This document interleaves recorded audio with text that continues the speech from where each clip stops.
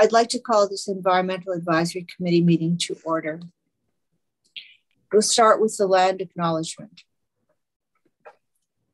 We are acknowledging that the Anishinaabe lands on which we live and work are the traditional and Treaty 20 territories of the Chippewas of Georgina Island. As a municipality, Aurora has shared responsibility for the stewardship of this land while recognizing that many nations whose presence here continues today. We further acknowledge that Aurora is part of the treaty lands of the Mississauga of the Credit, recognized through Treaty 13 as well as the Williams Treaties of 1993.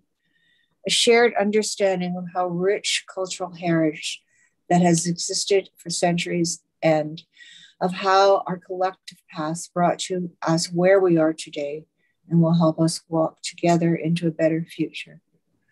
I've never had to read that one. Thank you. May I have uh, an approval of the agenda, please? I can't see anything, Linda. Um, so would anybody like to uh, make a motion to approve the agenda? Can you hear me? I'll move. Thank you, Colin. Barry, I'm going to put you a second for that motion. Thank you, Barry. Okay. Um, any questions or comments on the agenda? Okay, I'll now call a vote. All in favor? Folks, where are your hands? Thank you. I'm going to say that's carried. Declarations of pecuniary interest and general nature of there. Are there any declarations? Seeing none, receipt of the minutes. May I have a motion to receive the meeting minutes of May the 4th, 2022? Would somebody care to move that, please? Linda, I can't, are you there, Linda? Yes, yes, Um, I can't, okay. I could see the screen if I moved it, but if you see anybody's hand up, will you please tell me? Sure. Oh, so would anybody like to move a receipt of the minutes? Thank you, Ashley through you, Madam Chair, if um, it might be more efficient if whoever puts their hand up actually just says your name. So Ashley or Sam, just, just call out your name. Okay, thanks. Thank you. Is anybody calling their name out to second? Sam. Thanks, Sam. All those in favor? Okay. Uh, delegations, we have no delegations, matters for consideration. Um, we have a memorandum from the Energy and Climate Change Analyst, read the Climate Change Adaptation Plan and Implementation Plan. Um, so Lisa McTavish is going to, she's an advisor, climate risk and resilience, and uh, Jay Maloney, climate risk and resilience analyst at WSP. Welcome.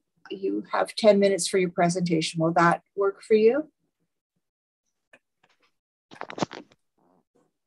Hello. Yes, 10 minutes will be great. Thanks. Okay, you may start. Great. Let me share my screen. Excuse me, folks. I just have to find my glasses.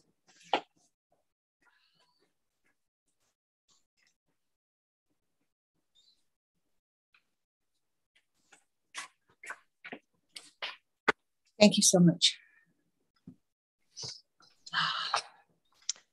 Okay, can we see this? We can. Great. And I can see you.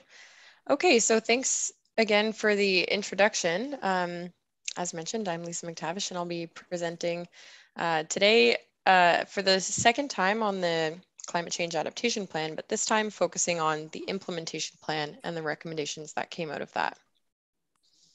Um, and so in the 10 minutes, I'm going to go through super, super quickly, um, just a refresher on what we did, uh, and then really just dive right into the findings. To do that, we're going to present the top risks because that's important, um, and then the recommendations that came out of that.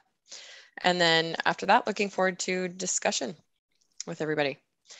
Um, and so again, just the purpose of this project was to look at current and future climate risks to the town of Aurora um, and ultimately to propose some adaptation measures um, to look at, you know, where vulnerabilities might exist now and in the future, um, and what actions we could do now and in the future uh, to mitigate those risks.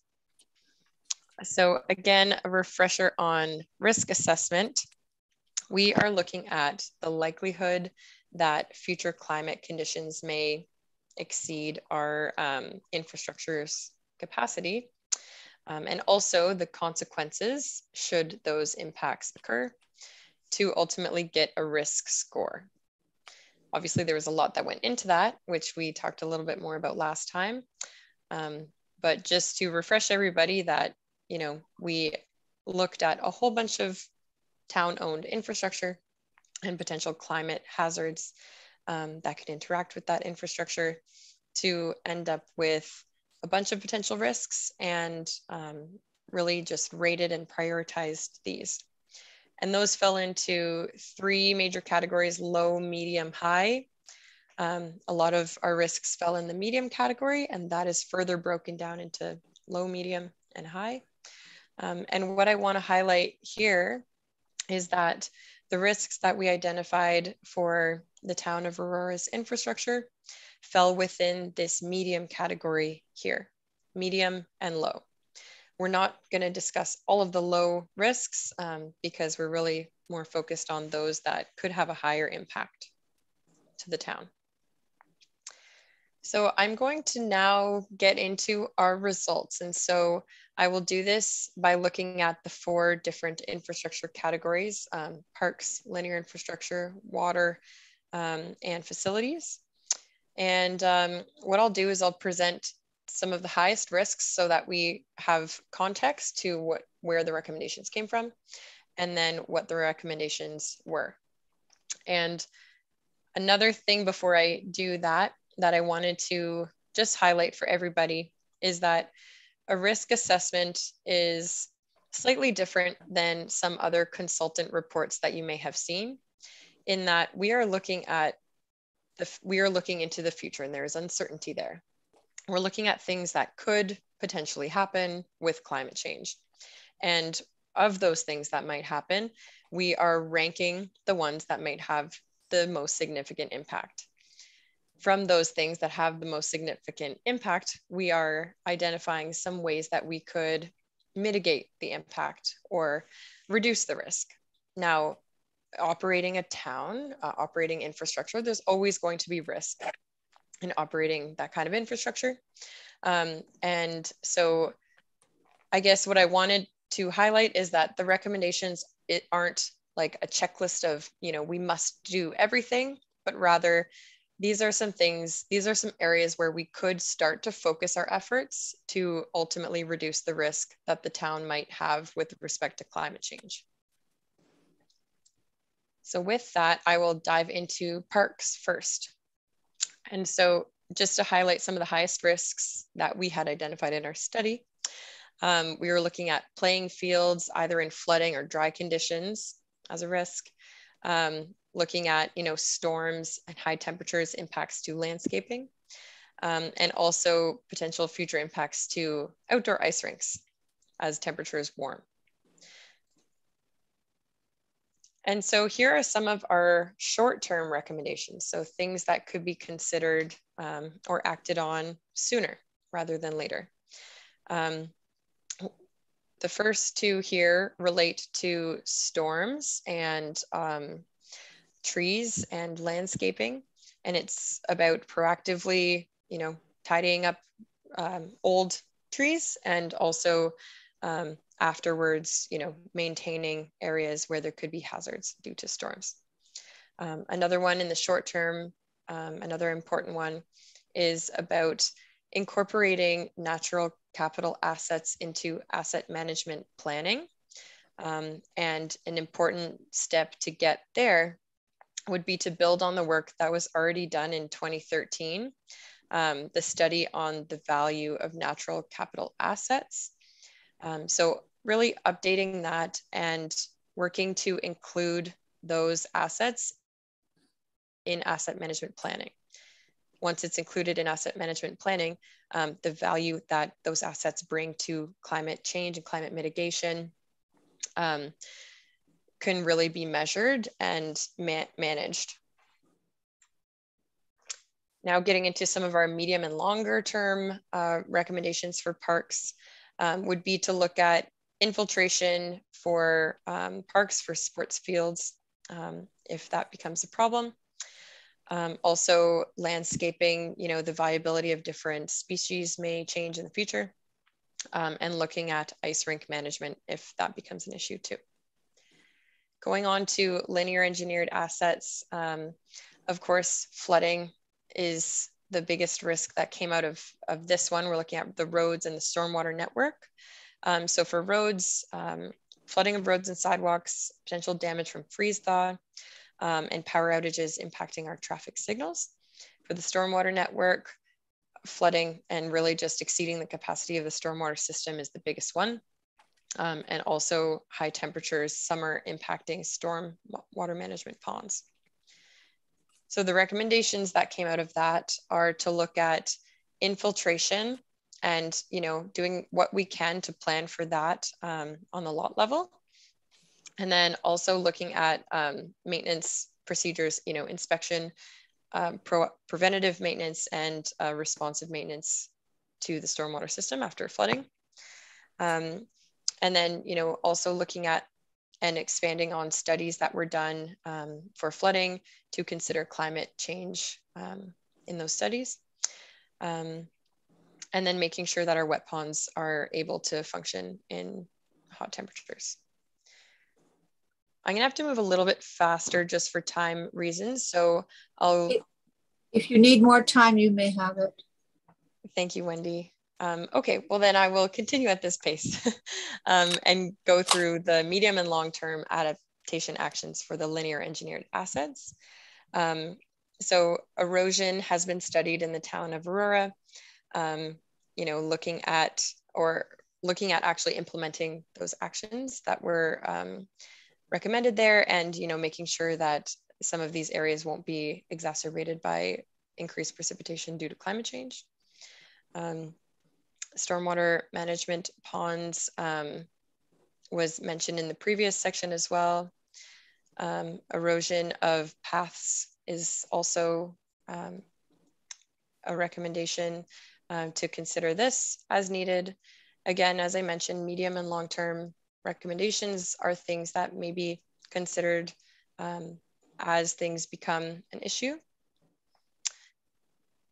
Moving on, um, just with a few more here, um, looking at water infrastructure. So this is water distribution and sanitary network.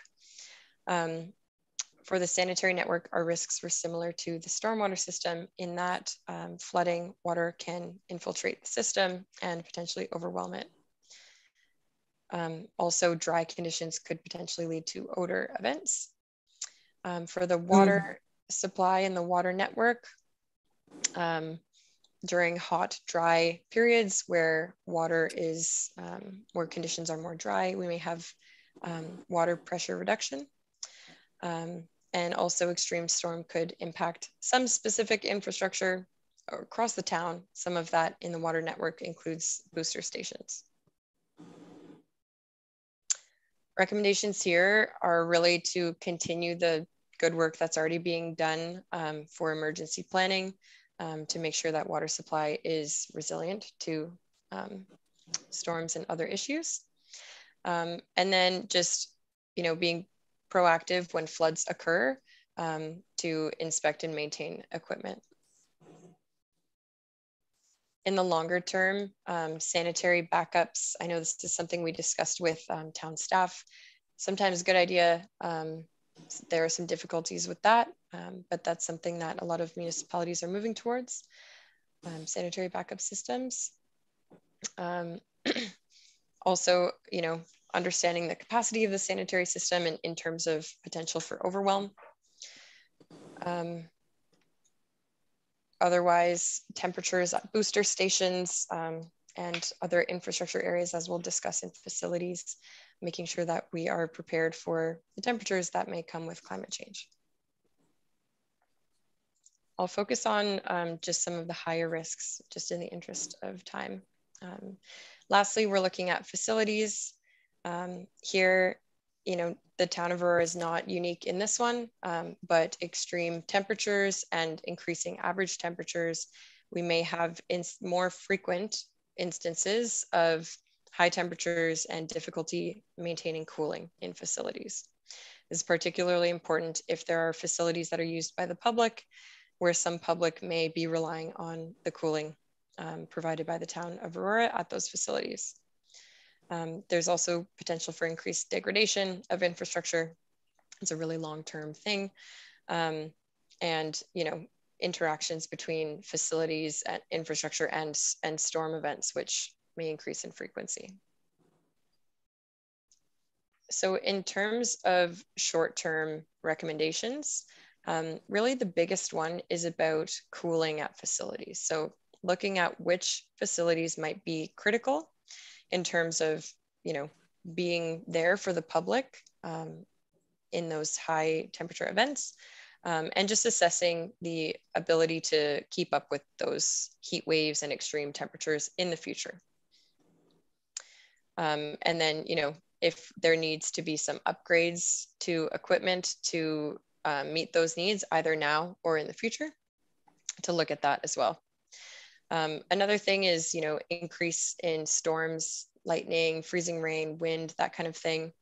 Um, those may increase in the future and therefore impact our power supply. So if the town identifies certain facilities are really critical for town operations or for the public, um, just ensuring that backup power could be made available uh, for those facilities. So I'll leave it there for the short term. All of this is of course in the report and more detail is provided in there as well. Um, some long-term recommendations um, if you know uh, air quality and um, lightning become issues, um, those are things that we could look at addressing in the future, but uh, not maybe necessary to do right now. So just to wrap up quickly, again, I wanna identify that um, as part of this study, we did not identify any high risks to the town. So no major red flags um, or actions that are, you know, things that absolutely must be done now to keep the public safe, um, but rather, you know, things that we may see coming in the future that if the town can proactively prepare for, a lot of money can be saved. Um, spending money to adapt ahead of these challenges in climate change um, will save a lot of money um, in responding to those incidents in the future. So thank you very much. I will leave it there and um, I'm happy to, as we um, get into the discussion, I'm happy to flip back to these recommendations or show the implementation plan itself, which has a bit more detail than what I was shown showing here. Thank you. Thank you. Um, okay, I lost everybody. Okay, well, I, I, suppose the first thing to ask is Does anybody have any questions about the presentation or any questions in general about adaptation or mitigation? Okay. So, again, if anybody has a question, could they say their name?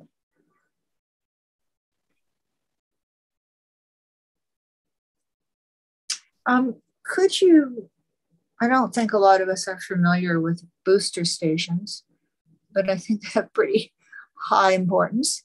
Could you just briefly explain what a booster station is and why it's important?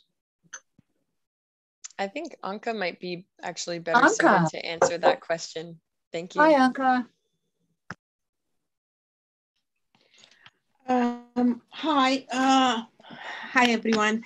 So my name is Anka. I'm the manager of engineering for for uh, with the town of Aurora. So um, the booster station, the town has one booster station, and it's not in uh, in uh, functioning right now, but it is important for for the uh, water main system to um, to make sure that the pressure uh, in in in different um, pressure uh, section of the um, of the water main uh, system it's it's uh, it's being dealt with uh, at different time because the pressure system in a water main uh, can vary uh, depending on peaks of the day and and this will uh, um, regulate um, uh, the water pressure in in the system when needed and and the booster station i understand from from the from the plan and from the from the recommendation that we need to have a cooling system in the booster station to to be able to function properly. So the temperature doesn't um, doesn't raise um, uh, too much and and the equipment there it's it's being dealt with. Um, so, uh, but booster stations, aren't they regional or do we have responsibility? Um, we have a very small booster station on Vandorf uh, side road, and it's not. Uh, I think it's out of. It's not functioning right now because it was not needed. However, okay. we did not decommission it yet. The region has um, a lot uh, more booster stations and and um, uh, bigger booster station than us because their system is a lot larger, but Aurora doesn't have. Uh, doesn't Thank have. you. So I, we better make sure the region of York has a copy of this section of the report. um, yes, they have. They have done. I'm kidding. Own, they, their own assessment, and uh, yes, definitely. So, with respect to the sanitary system, can it be overwhelmed by floodwater?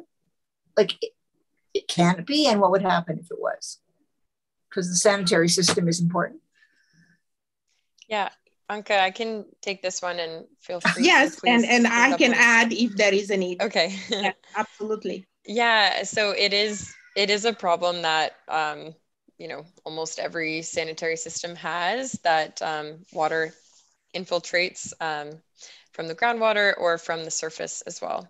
Um, and so if capacity is exceeded in certain areas, you know, water comes rushing in, it can lead to backups. Nobody wants to see it, smell it, clean it up, you know, that can be that can be a problem for the town. And so that's why um, that was coming out as one of the higher risks, just because the consequences of that are unfavorable yeah yeah and and the, and the capacity of the sanitary system the system needs to have enough capacity to collect the sewage and and being overwhelmed by um, rainwater that's that's not what we want to see. Otherwise we'll we'll have backups into the you know in into the homes and and that's that's a nightmarish situation. So we need to make sure that uh, the system is not overwhelmed by uh, rainwater by flooding so, with respect to quality of life for everybody who's sitting here at this meeting and everybody who lives in our town, what would you say the most important things that would affect us would be? Or is it just everything's going to affect us? Yeah, I think coming out of this study, it's it's more those high impact events that will really upset people. Like Anka said, you know, backups into people's homes. Um, you know, it may not happen across the whole town, but to those people where it could happen, you know, that's really upsetting thing. And so I think, um, you know, climate change, we're expecting to see an increase in variability of our um, storms. We could see an increase in intensity and an increase in precipitation on average. Um, and so you know, our infrastructure systems are designed based on historic um, conditions. Mm-hmm. And so we are expecting to see increases in, you know, as I mentioned, variability and intensity and in precipitation, among other things. And so just to have an idea of how that may impact the town's systems um, would help prepare for those conditions and help to um, just, yeah, plan for those potential consequences and avoid them. Excuse me, Madam Chair, I believe Barry has a question. Oh, Barry, thank you. uh, if I may. Um, the report, the plan actually seems to focus on the uh, infrastructure and services provided by the town. Now, when it comes to the provision of electricity, that's an ele electrical utility that's uh, responsible. Don't right. we have a part to play in that? For example, uh, trees both on public and private land. I mean, uh, we have our, you know, our urban uh, forest, our canopy, but again, on, in high wind situations or ice storm situations, those canopies can have a direct impact on the provision of electricity. Because it's not our responsibility, shouldn't we be playing a part because it's an element of our responsibility, the urban canopy, the urban forest, that can impact the uh, utilities provision of the electricity. I, I, did, I read through the report. I didn't see anything specifically on that. Um, while I'm on I got another, another question, if I may. Um, the focus seems to be the three seasons, spring through fall. Now, climate change, how is that going to impact the winter? Are we going to get more snowfall? Are we going to need more room to store and remove snow?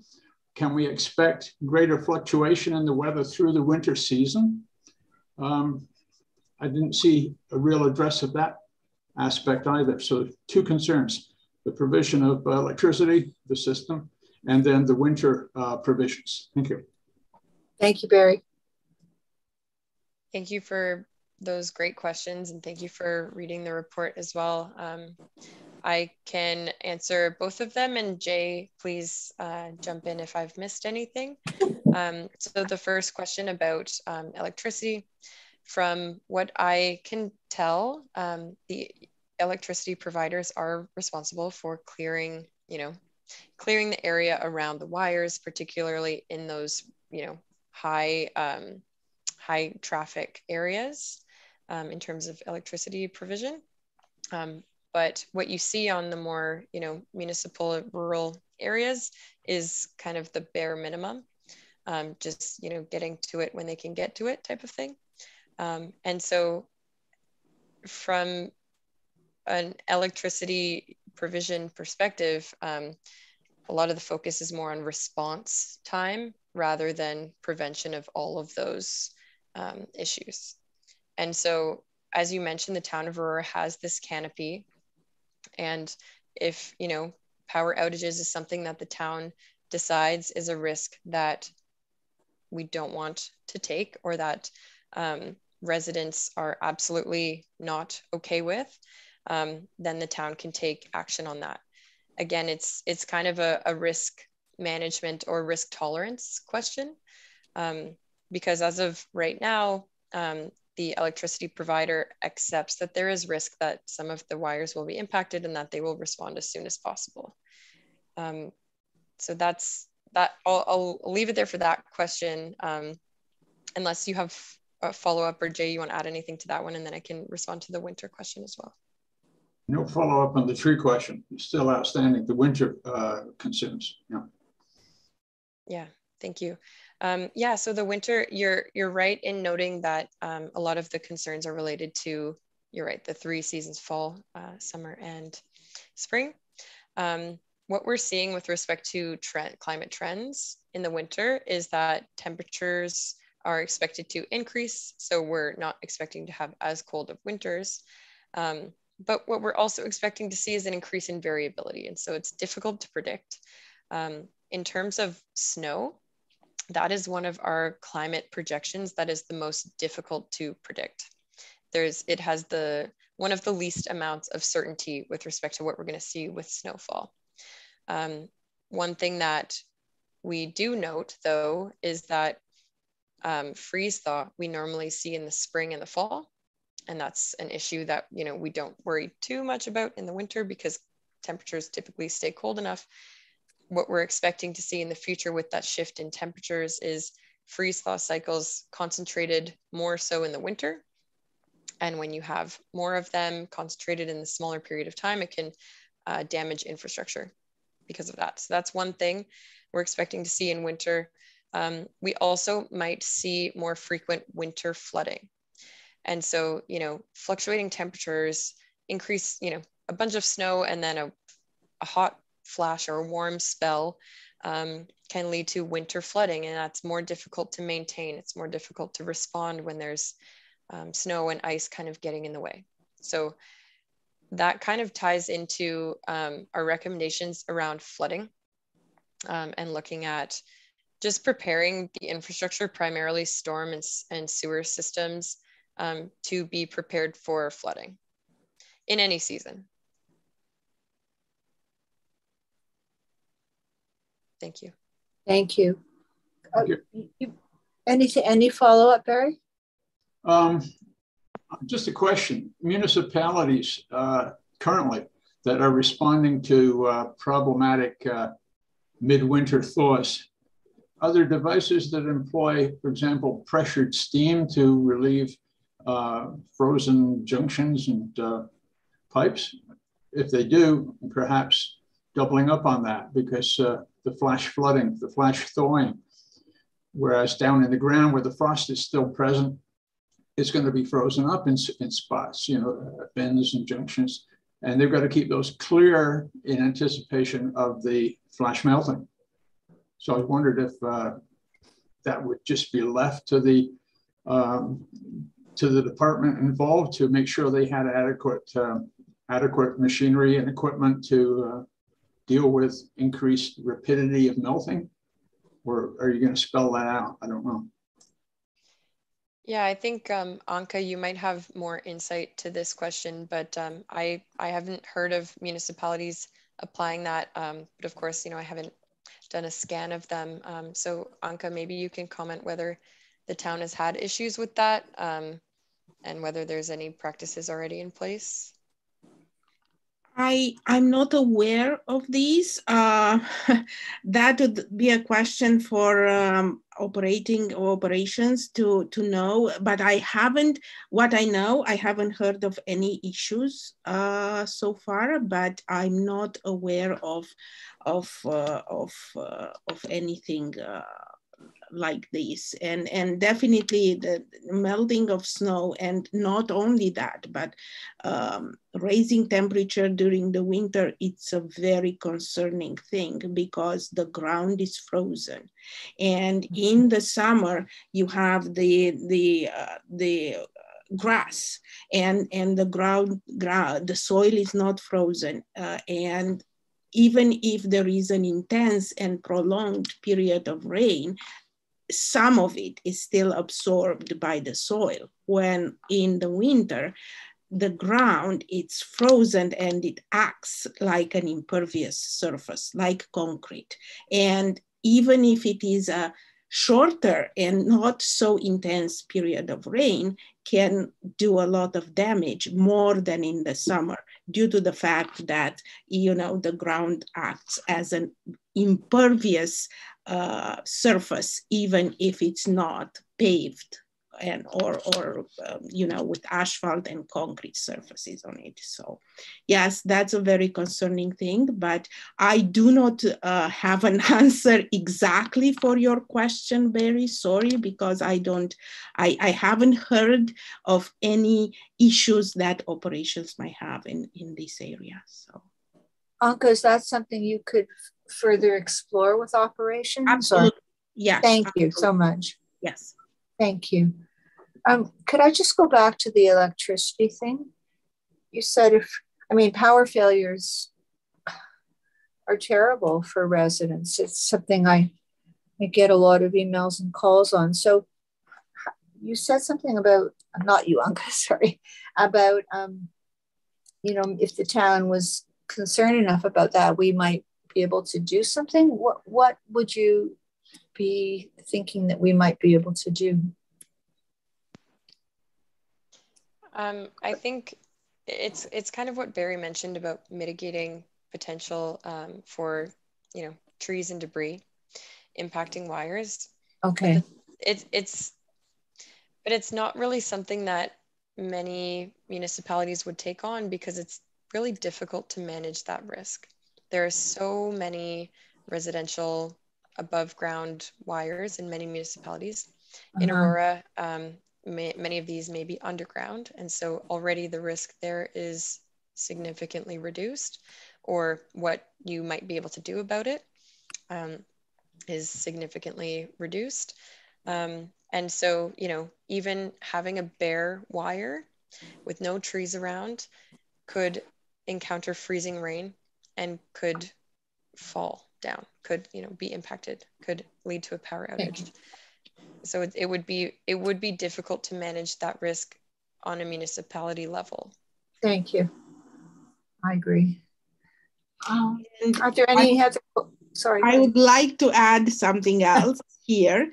Great. Unfortunately, the electricity provider is not willing to uh, change the way that some older areas are built with um, with uh, wires uh, and put them underground. We know because when we retrofit a street, when we rebuild a street uh-huh. and we uh-huh. have an open house, residents are coming to us and are saying, we want these um, wires underground. It's a lot better if there is a wind, if there is a, um, a freezing rain, uh, an ice storm we feel a lot safer that the, we'll have electricity on the street, even in these extreme events, if these extreme events happen.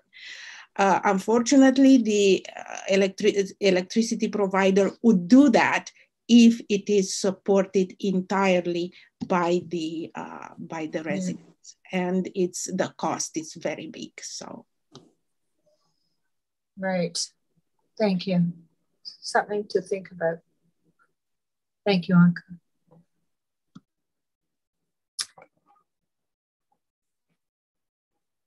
I don't see anybody else's hands up. Um, I actually have.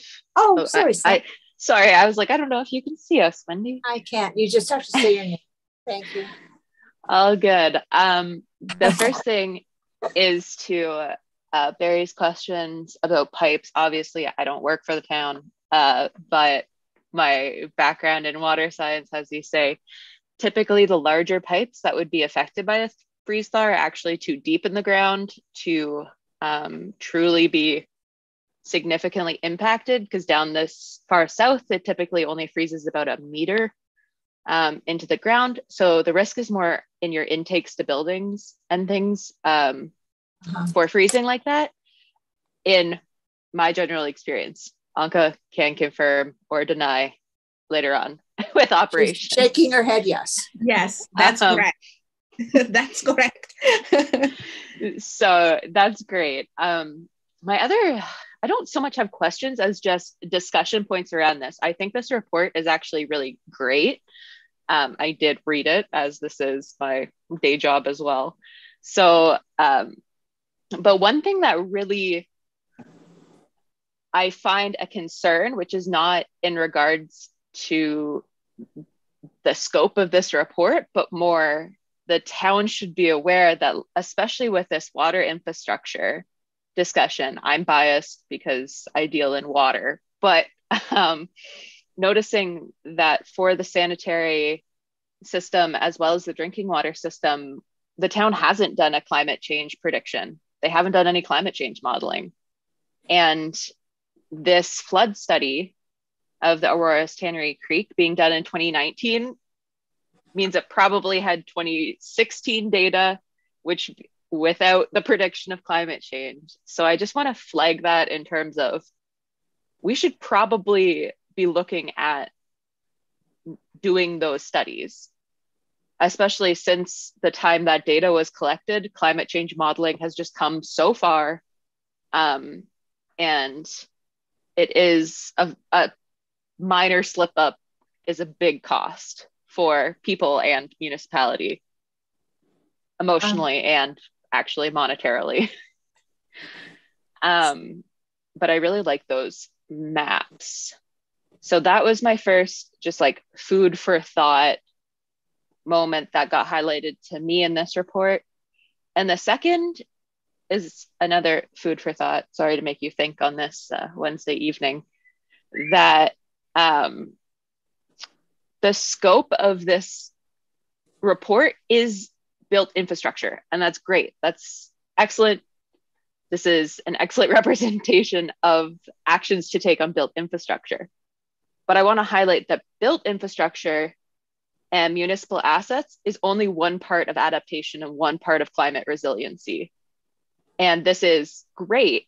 Um, but reading the title of the climate change adaptation plan for the town of Aurora feels a little bit of a stretch of a title as it only talks about municipal assets, really. Um, and in the presentation, obviously, we know climate is so much more than that. Um, so those were my only two things that we need to keep a lens on some of the socioeconomic and environmental aspects and uh, mitigation opportunities, as well as our built infrastructure um, and community. But other than that, I it was a great read. I, I appreciated it. Thank you very much. Um, Anka is sure wants to speak. Um, Anka was uh, did that the study that may have had the 2016 data. So Anka, can you just talk about um, your study and the work on that? Yes, uh, about the flood remediation study. Yeah. We, we've done it in 2019 with the most updated data from Conservation Authority.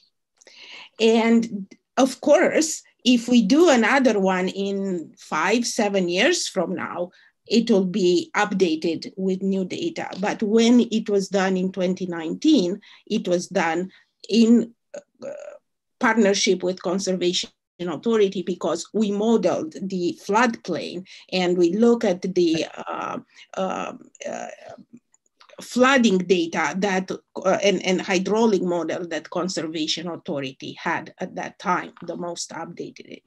And as a result of the study there was a long list of recommendation that we are implemented uh, implementing as we speak um, uh, a long series of capital projects that were all included in the 10-year uh, capital plan to, to be addressed over the, um, you know, up to 2032. That includes um, upgrading culverts in the creek, uh, looking at remediating erosion areas in some creeks that this is very important and we we uh, we are in the process of delivering two of or, or, or three projects we are on, underway with design two projects to remediate uh, erosion and address creek erosion. And at the same time, replace culvert in, in, in some locations where they need to be replaced because they need to be uh, upsized. They do not uh, meet the current MTO standards and we have a timeline to replace them absolutely when we rebuild a street and there is a culvert underneath and that needs to be upgraded, we do that right away. If we don't have a project specifically to rebuild that street, we just go and replace the culvert based on the timeline that was suggested in the flood remediation study. So uh, that's my answer. Thank you. I, th- I think we're spending maybe $350,000 a year on that work. Yes, yes, uh, yes, yes. Um, okay and and i can add something else here sorry i can mm-hmm. add something else here it was a recommendation in in this climate change adaptation plan actually it was the first one that was put there for for stormwater implementation of low impact development. That is very important because this means moving the, the, the importance of lot control and, and dealing with stormwater where it falls on the ground and not piping it and conveying it to stormwater management ponds. So you need to put pipes, you need to upsize the pipes more and more because the storms are more frequent, more intense, and the duration is, is, is uh, bigger. So if we deal with low impact development and in our capital projects, when we build a street, we do have a request from the consultants to look at what low impact development we can provide on that street, swales or, or uh, um, grassed swales or infiltration trenches, where we deal with stormwater where it falls on the ground, not going into the catch basins and sewers and then be conveyed to the creeks in, in larger quantity, creating creek erosion and so on and so forth. So we do that. And also through the green development standards, mm-hmm. we ask developers for new development, site plan subdivisions to implement low impact development in their design and, and construction. So that's another aspect how we plan to deal with, with flooding uh, and, and address the issues of climate change with respect to flooding and uh, creek erosion. Thank you. We're going to have a lot of infill development. Can Sorry. we use that for the infill development as well? Yes, and infill development also through porous pavement, through grassed swales, through, through infiltration trenches. Um, uh, all these uh, can be can be done on, on each and every site plan or infill development. This low impact development can be implemented at, to deal with stormwater. Thank you. Better than before through just, you know, letting it become uh, collected through the storm pipes that need to be uh, right. upsized now into the stormwater management ponds that take up a lot of land, in fact. And cost a lot of money. And cost a lot of money. They are very nice features on the ground, but there are they are these features are very expensive for for the town to maintain sediment dredging, maintaining the you know inlet, outlet, vegetation. It's it's it cost a lot of money to build and cost a lot of money to maintain. Thank you. Um, sorry, did I hear somebody's voice? Yeah, sorry, I, I had a question, Colin. Um, Colin. Hello. Um, I was wondering if there was any um, thought about encouraging homeowners in the town to uh, have solar panels on their roof and whether there could be any measures that could be done to encourage that, uh, both as a way to re reduce um, non-renewable energy, but also as a uh, backup to help uh, backup in situations of emergency. Um, yes, uh, there is there is a thought uh, uh, on doing this through the community energy plan.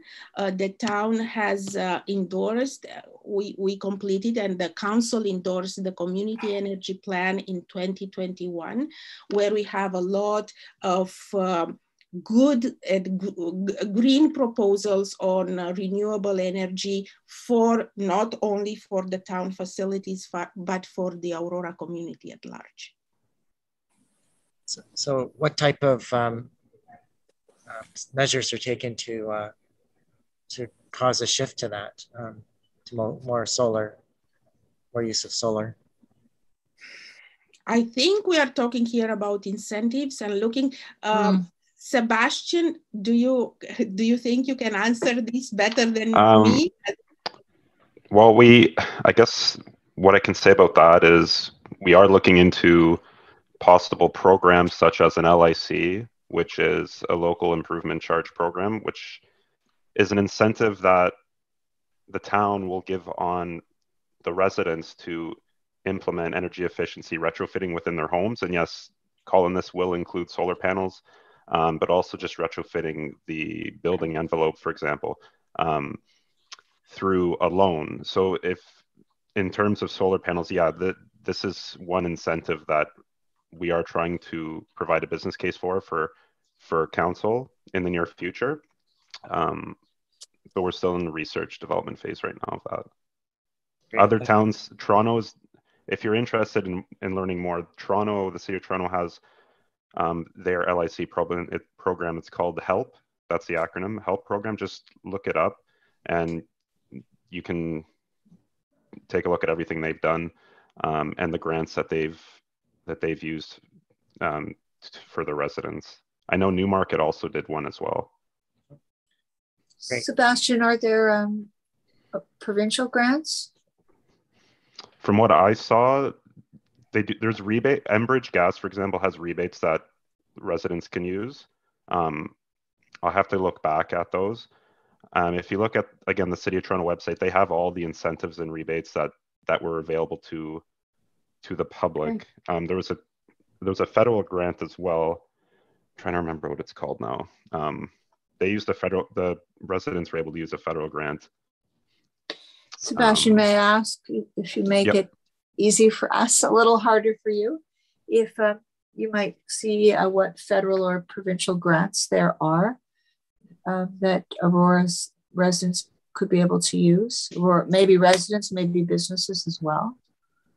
Yeah, I can take a look at that. From Toronto's, I'm I'm sure Aurora could use the, the similar versions of theirs. I'm sure it- it's provincial wide, but I can look into others as well. Thank you. Well, well Well, just Anka. I can add, sorry, I can add something else here.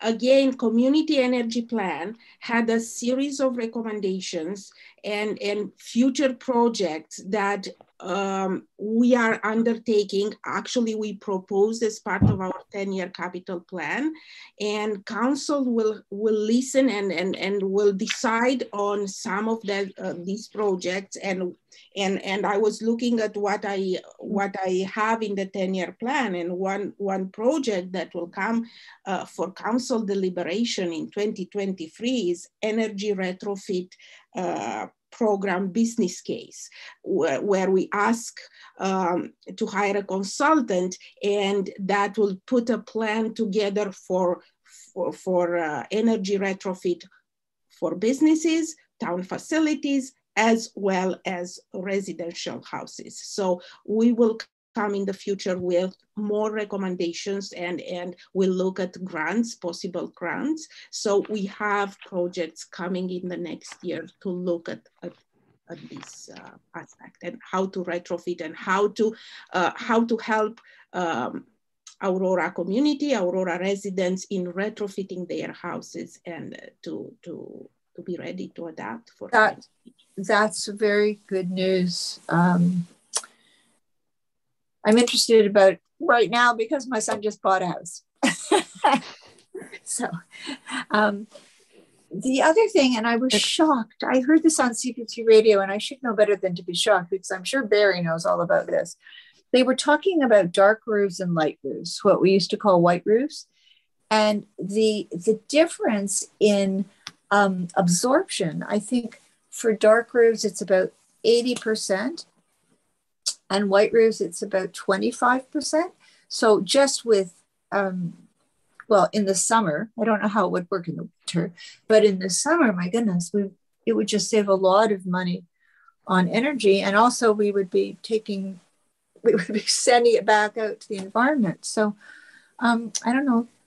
It, that's like, it seems like such a simple thing is it am i wrong that it's simple for us to do it's something we could most of us Thanks, could Sam. do like right now Yeah, Sam pointed it out. It's that it's called the albedo effect. So the higher an, an albedo, otherwise in your terms, thanks sam Wendy, the darker an object or the darker a surface will be.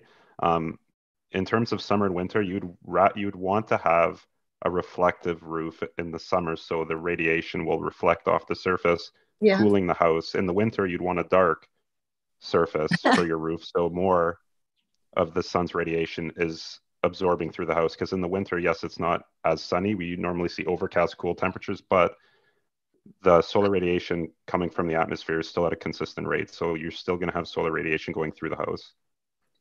okay okay Excuse me, Madam Chair. Ryan has a question. Yeah, I just Ryan? had, a- I just had an add-on to Sebastian's comment. So um, last Thursday, the federal government announced a $4.4 billion initiative that provides homeowners with a $40,000 interest-free loan over 10 years for items like solar, hot water heaters, that kind of thing. So I just sent a link to the group. Um, in- thanks in addition to that, they also give uh, $5,000 in grant dollars towards solar, for example. You can get, I think, $1,000 per kilowatt. Um, so if you get a grant, that's great. And if you can't get a grant, you can finance it interest free over, over 10 years. thanks So Ryan, for the thanks for that. This is this is the grant I was just talking about from Natural Resource Canada. This is what I'm doing research on currently. So come next year when, if we get the business case approved, um, we will be working with that grant. That is the grant Toronto used, the Greeners, the Green Homes Canada grant. Yeah, that's exactly it. So it's actually different. Toronto, Ottawa, and Kingston, they actually have their own city grants that were in addition to this. So they also offered, I think, forty thousand dollars. So you really get eighty thousand for climate change, Right. which is a Whoa. tremendous amount of money. But um, I think a lot of municipalities are looking at piloting it as well. So I think Aurora sounds like you guys are doing that too. That would be nice. Um, if if anybody, um, well, we're all interested in this. Um, have a look at Passive House. I don't know if anybody's familiar with the, the Passive House. Actually, they even have an office, I think, in Aurora now. But uh, even with retrofitting, you get the most um, effect if you with insulation and windows, because that's where a lot of heat and cooling is lost. So I'm, I'm sure you can use the grant for anything that's energy efficient, but um, it's a very it's very interesting. Unc, are you familiar, Sebastian, with Passive House? Not passive house, no, but I, been doing some some research, and you have to be careful with the windows and doors because because it's a Uh-huh. premium item. Yeah. Um, some some will not be able to be. We're not eligible for financing. So I again, I have to do more research on that. But you have to be careful with the windows and doors. Wow. That's that's interesting. Not to If that- burst your bubble. So Yeah, I know. If that's what saves, what's it, what, which produces the most energy efficiency, you think that that's what they want to be going for. Anyway, um, oh, thanks, Sam. Um, It depends on the angle of the sun. You lose the most heat through windows and doors, but passive heating often utilizes the angles of the sun to best uh, get the most light and heat into your house. It is complicated. Thank you. Okay, so much to know and learn, um, but so interesting. Is there anybody else who would like to weigh into this before we close this item? Okay, then uh, thank you so much. Um, this has been a very interesting topic. Thank you, Anka. To our consultants, you're off my you're off my screen. Are you still with us? Yes, yeah. Thank you Hi. so much for the very interesting discussion and for the opportunity to present. It's been great. Thank you. And I also read the report, and um, I've got all kinds of circles and highlights to take with me to one of my council meetings, perhaps. Thank you. Thank you. Um, Linda, I have no idea. Madam Chair, could we have a mover and a seconder, please? Oh, a mover and a seconder to receive. That would be great. Thank you. Could we have a mover and seconder to receive the report? Should we have had that in the beginning, Linda? Yes. Next Sorry. time Next time. So we better have a mover and a seconder now. to, re- Um, to receive the report and to receive the comments from the committee. to thank you, received the report and received the comments. Um, okay, I'm gonna pick the people I see on my screen. Crystal, you can be the mover if you wouldn't mind. Thank you. Lisa, would you like to second this? Oh, no, you can't. Ashley had her hand up. Ashley, thank you. I thought you were gone, you guys. okay, all those in favor?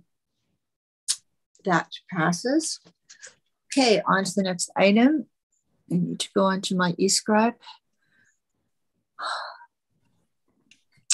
Okay, we have a memorandum on the corporate energy plan, the progress report. Um, is anybody presenting on this? Linda? yeah, Oh, you will, Sebastian. Thank yeah, you so much. I will. Yeah, be presenting it. Great. I'm just going to share my screen now. Does everyone see this? Um, I'm coming back to you. Oh, yes, thank you. Awesome.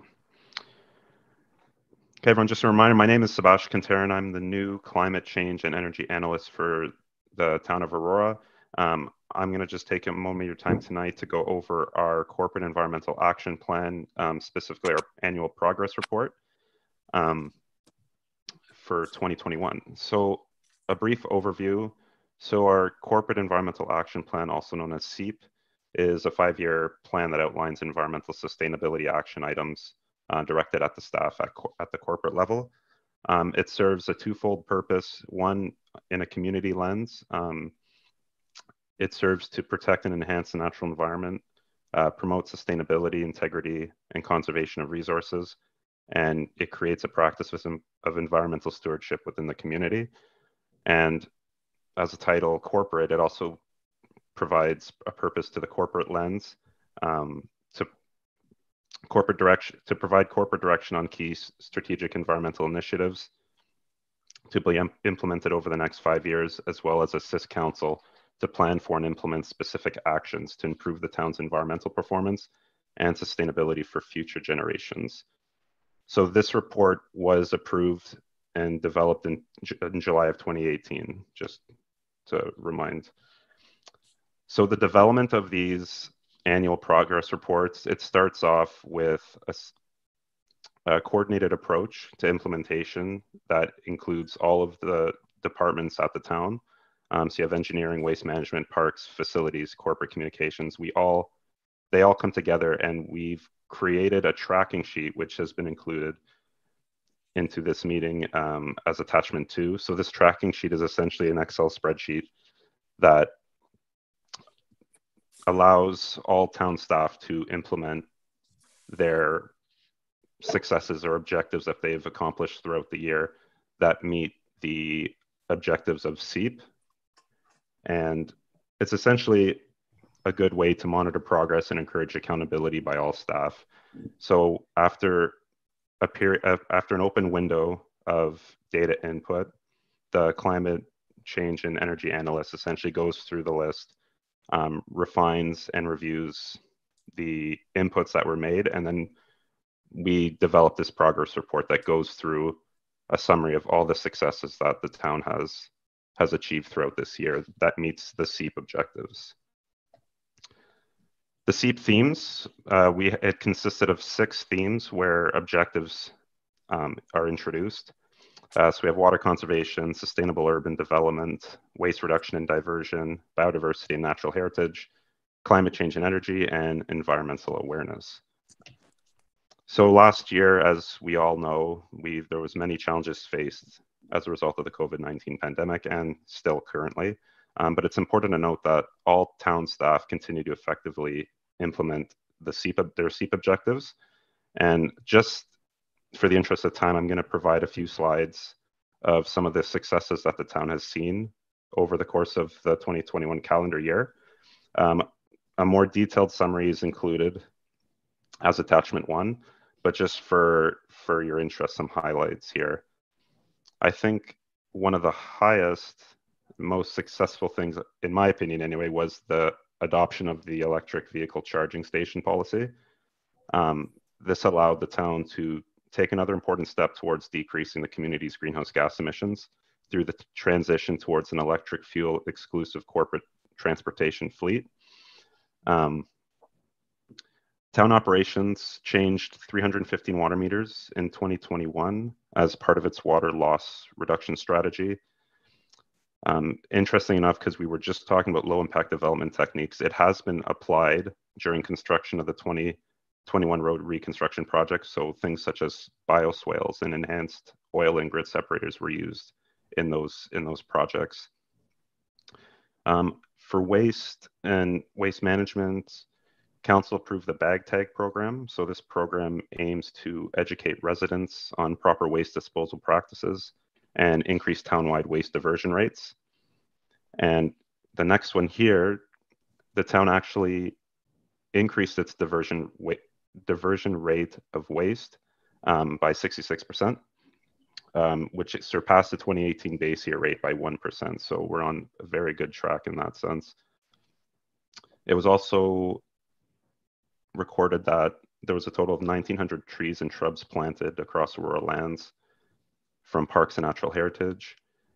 Um, in terms of the Adopt a Park program and partnership development, it was confirmed that there was a 13th partnership made um, through Herb McKenzie Park, which was another another successful achievement. Just going back to the EVs, um, after the approval and implementation of the, the EV charging station policy, the town had partnered with Ivy Charge and installed eight dual head level two chargers at town owned facilities with proposed actions on installing two additional chargers as part of the Library Square project. Um, in terms of town owned facilities, um, they've demonstrated a 14.5% reduction in energy consumption compared to 2018 metrics.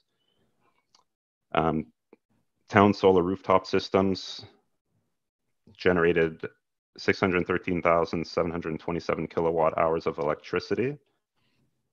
And over the course of 2021, the facilities has integration of operational changes, um, internal, from town-owned facilities in an effort to reduce energy consumption. And because of these changes, 23% um, of energy avoidance was was a result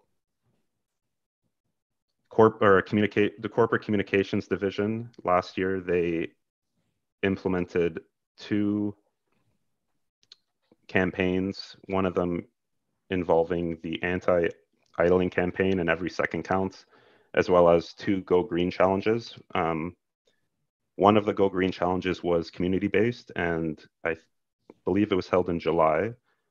Um, and the second one was town staff based, so it was corporate based, and it was held in the fall.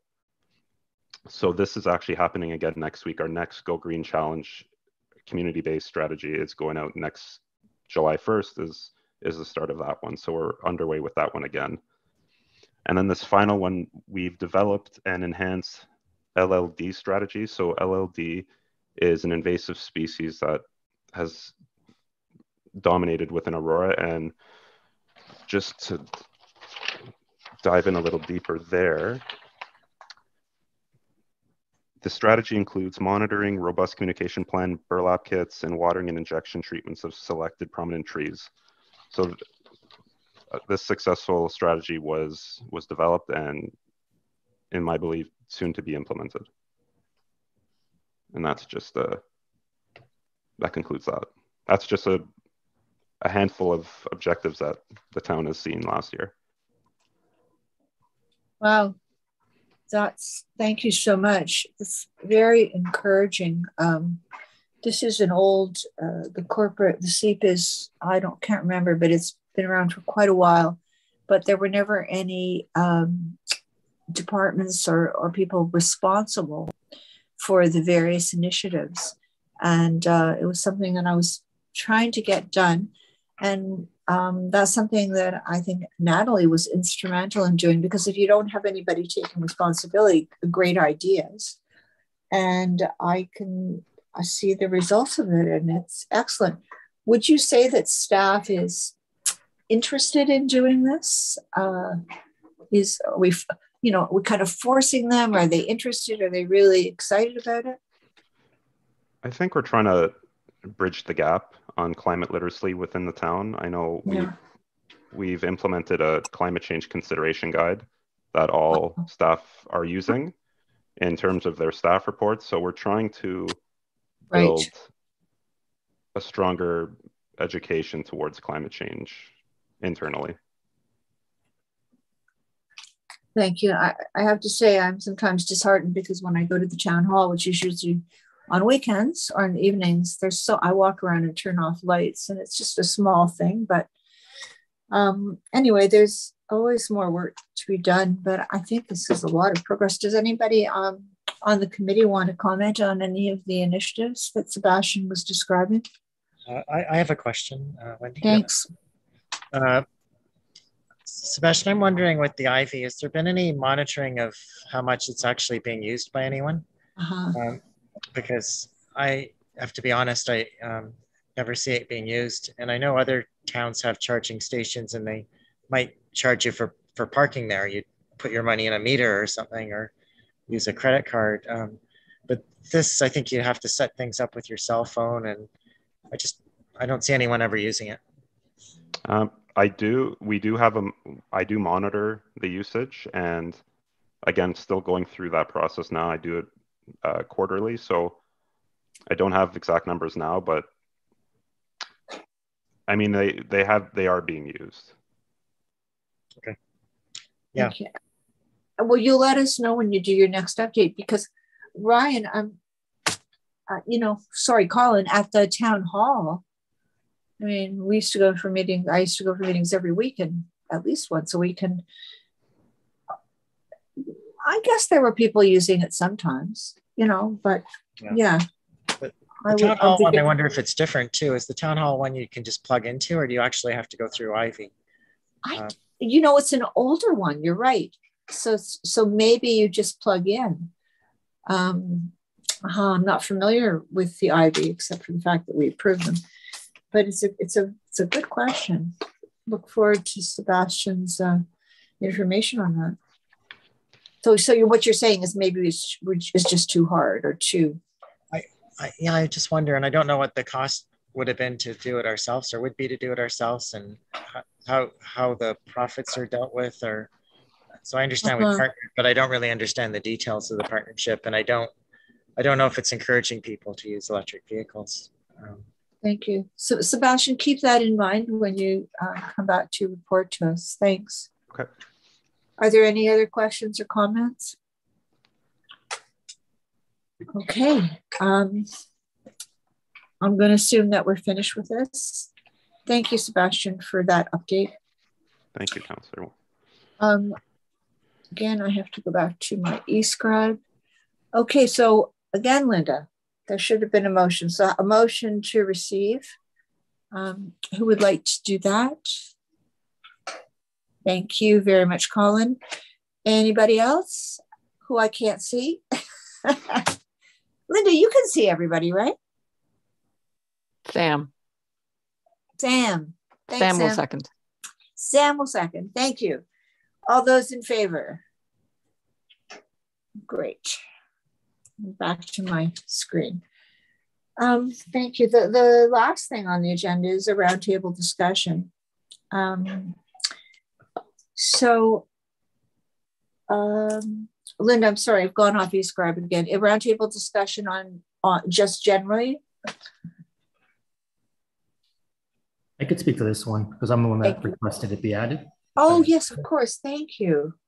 Yeah, no problem. Um, so basically, the reason I asked for this to be added is I've noticed um, just along trails in Aurora, um, residents kind of cutting holes in fences, planting vegetation in um, environmentally protected lands.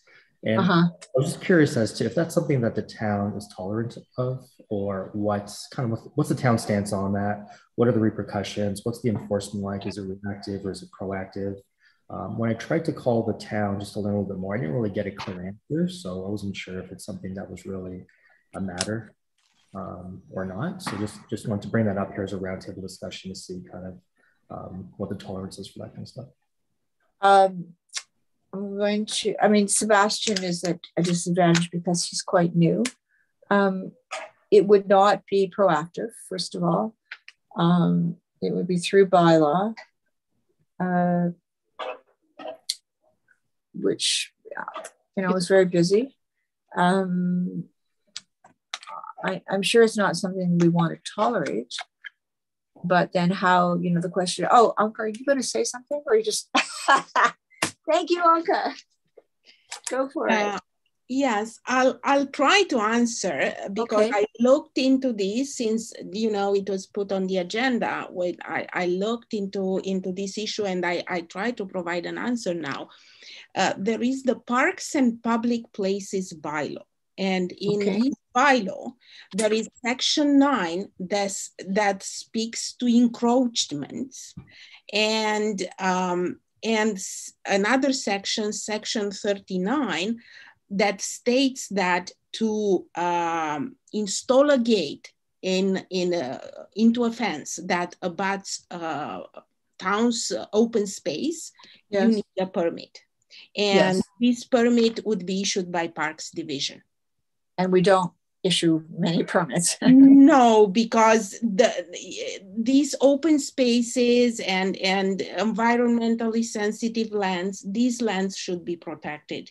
It's Agreed. not it you don't go there and change the grade and and start digging or or uh, putting fill or or changing the elevation so that's not acceptable and uh, uh, needs to be protected. And of course if there is a fence between the you know the public lands and and adjacent properties this needs to be respected. You don't uh, uh, put a gate or or if you want to do this you'll go to the to the parks division and you make an application i understand but they will look at why you want to have a gate in there. And i don't think that's easy to get approval for uh, for such a thing Thank you, Anca. Uh, thank you, Ryan, for bringing this forward because, um, well, it's just wrong. But, um, and it's also should be pretty easy to find the culprit. So, so, um, uh, so it would be all of our bylaws are complaint driven. So somebody needs to complain to bylaw. And would it be would it be building bylaw or would it be? It will be it will be uh, if there is a comp complaint to bylaw, I think the bylaw officer will go and visit the site. And it's, it's you're correct, Councillor uh, Gaertner, it's difficult to find the culprit. However, they might put it on their um, agenda and take, um, you know, and keep an eye on, on that to see if something happens. But I'm, I'm looking at the section nine of the Parks yeah. and Open Spaces bylaw that says no person shall encroach upon or take possession of any park of public place by any means whatsoever, including the construction, installation, or maintenance of any fence or structure, the dumping or storage of any materials or plantings, or planting, cultivating, grooming, or landscaping thereon unless in accordance with the municipality encroachment policy and authorized by council. So if something like this happens, I, I assume I, uh, bylaw will will look into it and and try to you know to remove that uh, gate uh, and restore the fence and and see if they can uh, find out who's encroaching and and what's doing into the open space or park or or, or environmentally sensitive area. These these areas needs to be protected and i think bylaw will keep an eye on it. If there is a complaint absolutely. Thank you um, thank you. Ryan, I think what we've been kind of circling around this issue in council for years because what's happened over the past, you know, in the older parts of town, people have slowly started to encroach onto the lands and it's it's in existence and it's happened a long time ago. But in so it's it's a difficult issue. But in the newer areas, um, you know, you can you can see that it's happening. I mean, all the neighbors would see that it's happening, and they would. Um, it, it's the issue is you know are you you're going to speak up uh, against something your neighbor is doing, but it's um, but also it could be it's very obvious who. Unc, I was making a joke before you didn't get it, and it's because I make bad jokes. so, um, you know, because the you know you, you can see it's it's the homeowner who's doing it you know? Hopefully it's hopefully it's we can see it that it's it's not too big a mystery whereas some bylaw issues are very difficult to figure out you know because somebody does something and then they leave. Um, so i'm assuming um, ryan that this is an issue that you've seen and um, um, do we did we give you enough information um, and do you have any suggestions as to what we might maybe maybe we want to communicate this out to the public through our communications channels. Um, certainly, you know, people may not know about the fence, about the the gate part. That that you know, I could understand that, but doing anything else, I mean, they must know that it's not their land. Um, is is there is there any feedback you want to give uh, staff or me? It helps. I wasn't sure if it was reactive or proactive enforcement, so that's definitely helpful. Um, and yeah, it's pretty obvious when you're going along the trails, you can everyone can see it. So um, I don't. So anybody the, could report. Yeah. Yeah. I don't want to be the guy that you know reports it to anybody, but I was just curious as to how it works. And then my other question is around encroachment. So is there any rules? I know some jurisdictions have it. If someone um, encroaches on land over a certain amount of time, it becomes their property. Is there anything like that? No, that's what makes sense. Anca's shaking her head no. Uh, and I never, yeah, it's like the squatter's bylaw, right? No. it, it, well, it's a good question and it's difficult to answer. um, we always look at legal and we ask legal input on these. For uh, example, we uh, I'll give you an example when we had um, uh, to rebuild a road, and and on that road um, there was a business that was encroaching into the municipal right of way with a concrete pad that he was needing for his business. It was a garage, and for years years, I mean like 25, 30, 35 years, because we don't go and rebuild a street every five years. We go on a street and then uh, when the street is new, we go on a street and rebuild it after 40 years or, or right. something like this. And then when we rebuild the street, that business and uh, owner wanted to keep that concrete pad there.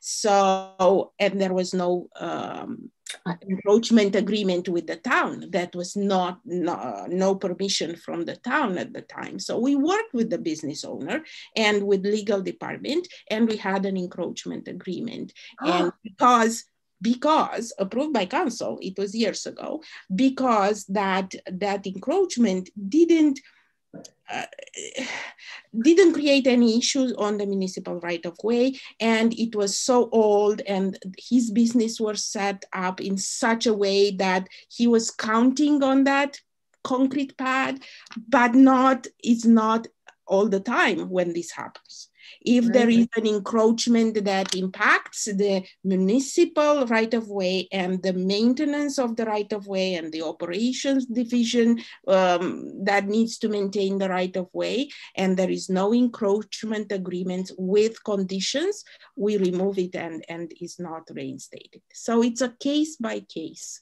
Uh, Thank you. Ryan, does that help? Yeah, very helpful. Yeah, and your I think your suggestion was a good one, just general education um, through town channels. Yeah. So I think it's worthwhile, but um, I was just curious more than anything, so that's why I was I, I asked for it to get. Thank you. And and I know, sorry. No, no, you go ahead.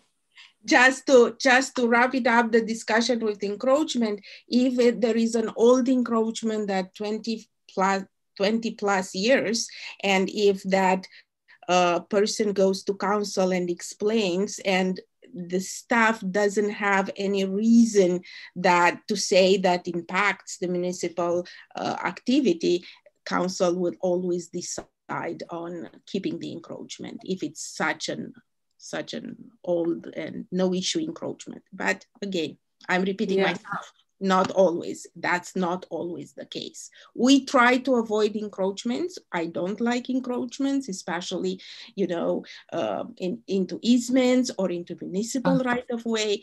I'm always against those encroachments and staff it's it's against encroachments but uh, there are cases when uh, when they can be permitted. Hmm and you know what? As you said in some cases it just makes sense. But what what's happened over the years is that a lot of backyards keep getting a little bit bigger and bigger all the time. So and you know it's there's a lot of those. And it's a yeah it's hard really to know what to do about that. But um just further to your comment ryan you know i don't believe there is any municipality that has proactive bylaw. I mean, I think sometimes bylaw officers were driving around and they, they see something and, you know, but we just couldn't afford it. It, it would be impossibly expensive. So um, that's why it's complaint driven. And in, in this case, I mean, uh, I can see that especially now that we're public with this meeting, this may not be something that that you would want, but uh, to to um, speak to bylaw, but but for all those people walking on the trails, the trail that that you know that keep to the rules, um, you know, hopefully one of them will report it um, because it's just not right. Thank you. Um, that was thank you for bringing. And if anybody would like to have a special topic discussed, um, yes, just let the chair know, and uh, we'll see if we can work it out. Um, okay, I'm going to go through my screen. Um, Sebastian, I wonder, um, is that something you could speak to communications about? I think to I think her name is Carly Smith about um, just public information about you know not being able to put gates into fences that back on public land. It's called public land and parkland. I think you said Anca. Yeah, just one sec. I have it. Let me just look parks and uh, parks and public places bio. It's parks bylaw number 4752-05 P. So An old I, bylaw. Yeah. Four seven. Could you say it one more time, please? Four seven five two. Yeah. Dash zero five dot Thanks. P because it's in parks. So there's this, oh, I see. Thank you. Zero five means it was done in 2005. Yeah, probably. So it's an old one. It may be something that we want to update, but I, have a feeling it's probably a pretty good bylaw from what you've read, Anca. Um, it, it's just one of those things that's hard to enforce. So just, um, you know, through our um, various communication cha- channels, just maybe to pick a couple things out of that bylaw that the public, yeah. Okay, terrific. Um, I think that's Linda. What are you going to do with me? This we should have had a mover. Gee, a mover and I haven't done this so long. A mover and a seconder for uh, receipt of this motion of this um, discussion item.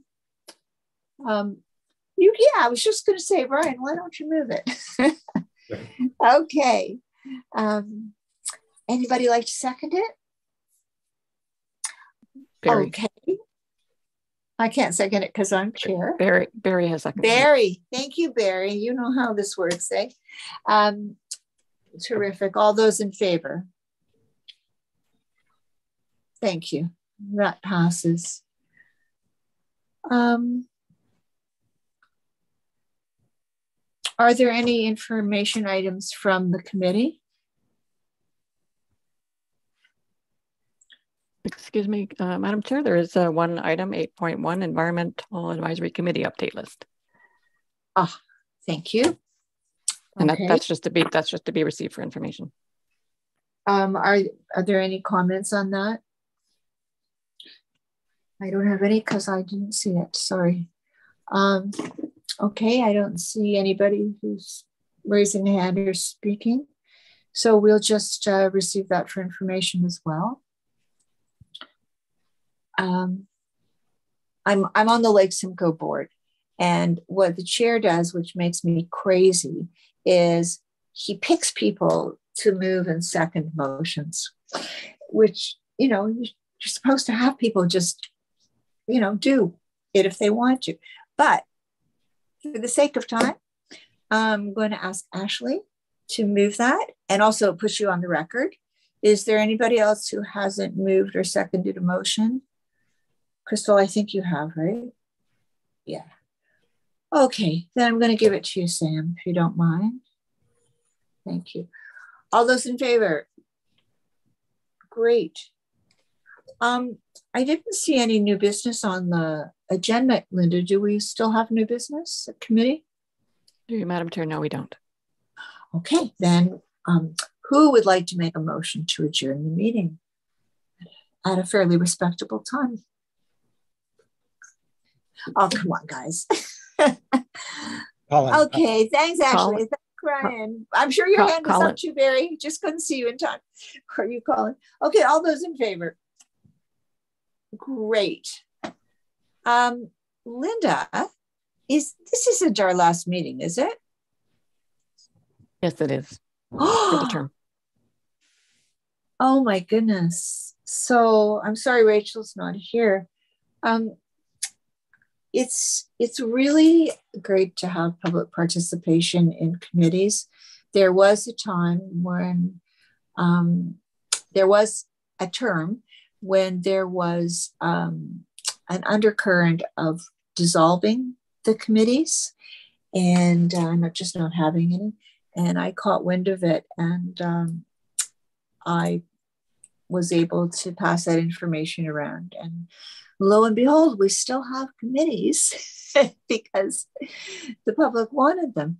So, um, you know, councillors are just councillors. We, you know, we don't have any particular qualifications to to be the you know the leaders. So it's really really great to have public participation, and uh, thank you all so much for volunteering your time. And um, gee, well, Excuse me. have a great summer. So are we are we officially adjourned? Uh, we already had the motion, and then I went on a bit. Yes, Okay. thanks. Thank you. I I I thought it might be the last meeting, but it's I'm still caught by surprise.